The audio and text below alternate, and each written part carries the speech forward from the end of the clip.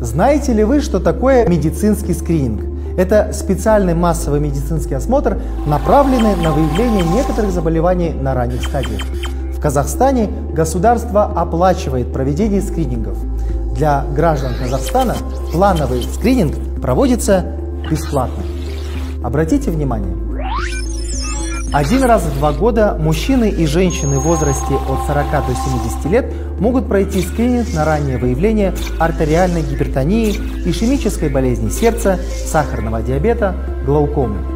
Женщины в возрасте от 30 до 70 лет один раз в 4 года могут пройти скрининг на выявление рака шейки матки, а один раз в 2 года на раннее выявление рака молочной железы. Если вам 50 и больше, медики приглашают вас раз в два года пройти бесплатный скрининг на выявление колоректального рака. Раннее выявление болезни позволяет ее победить. Пройдите бесплатный скрининг.